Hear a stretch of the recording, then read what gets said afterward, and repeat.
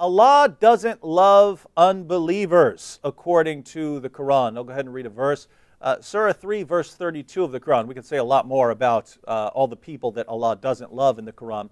Uh, but a very clear verse, chapter 3, verse 32 of the Quran, say, Obey Allah and the Apostle.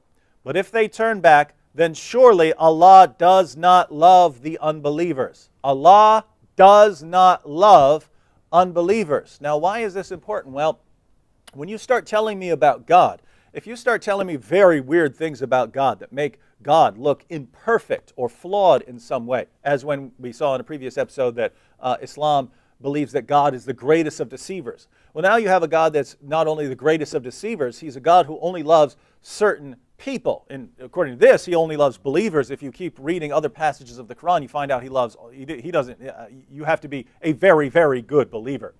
Um, but Allah doesn't love unbelievers. Now, what's the problem here? Well, one, Muhammad claims to be in the tradition of Jesus, right? Jesus preached the same message, but Jesus commanded his followers to love their enemies. To love their enemies. And why? He says, because that's how you can be more like God. God loves even our enemies. But according to Islam, Allah doesn't love unbelievers. So, one, um, Muhammad is preaching a very different God from the one that Jesus presents, when that would be odd because Muhammad claims to be presenting the same God.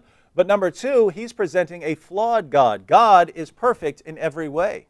And if you believe in a God who only loves certain people, then Allah's love is severely imperfect. In fact, we can say that our love, because we love even those who hate us, that our love is greater than Allah's love. So we are greater than Allah in love?